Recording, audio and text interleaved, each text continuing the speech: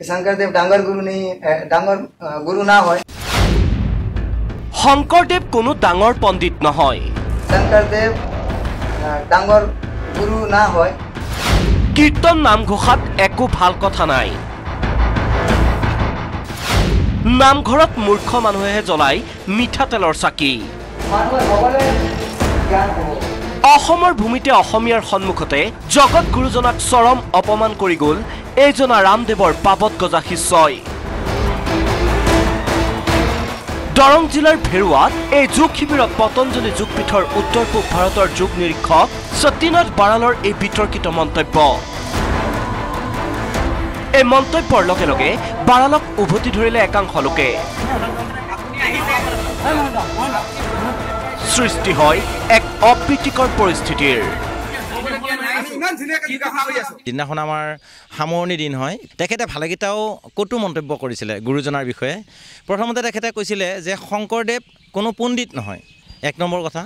আৰু দ্বিতীয়তে কৈছে যে অসমৰ মানুহে তেলৰ চাকি যে জ্বলায় এইটো ক্ষীৰ মূল্য নুবুজাৰ কাৰণে জ্বলায় আৰু সেইটো কাৰণে অসমৰ মানুহক মই মূৰ্খ বুলিয়ে ক'ব খোজোঁ।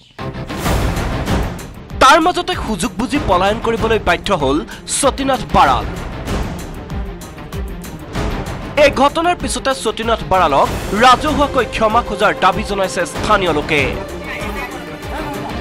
হৰিদ্বাৰৰ পৰা অহা যিজন যোগগুৰু তেখেতে শংকৰদেৱ মহাপুৰুষ শংকৰদেৱৰ বিৰুদ্ধে যিখিনি বিৰূপ মন্তব্য প্ৰকাশ কৰিছিল এই প্ৰকাশ কৰা মন্তব্যত আমি তেখেতক তৎকালীনভাৱে নিস্বাৰ্থভাৱে চৌব্বিছ ঘণ্টাৰ ভিতৰত ক্ষমা খোজাৰ দাবী জনাইছোঁ দুনিয়ান আঞ্চলিক ছাত্ৰ সন্থাই। আৰু লগে লগে তেওঁ আজি চৌব্বিছ ঘণ্টাৰ ভিতৰত অসম ত্যাগ কৰিব লাগিব।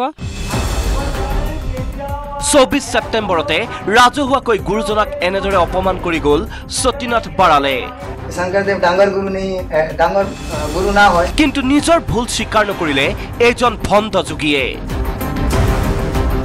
বিপৰীতে সতীনাথ বৰালৰ অভিযোগ একাংশ লোকে তেওঁৰ বক্তব্যৰ ভুল ব্যাখ্যা কৰিছে।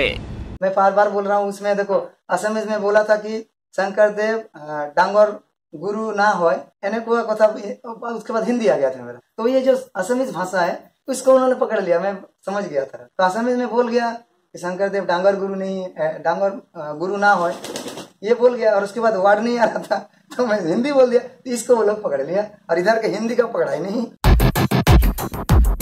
প্ৰশ্ন হৈছে যোগ শিক্ষাৰ নামত সতীনাথৰ দৰে চালানী যোগীয়ে শংকৰদেৱ আৰু মাধৱদেৱৰ বিৰুদ্ধে আৰম্ভ কৰিছে নেকি? কৌশলী প্ৰচাৰ। বিতৰ্কৰ জৰিয়তে হিন্দুত্ববাদী সংগঠনৰ প্ৰচাৰৰ বিপৰীতে গুৰু দুজনাক বৌদ্ধিকভাৱে হত্যাৰ ষড়যন্ত্ৰ চলিছে নেকি? মঙলদৈৰ পৰা কেমেৰা পাৰ্চন ৰমেশৰ সৈতে Nabajyoti Mahanta news eighteen Assam north east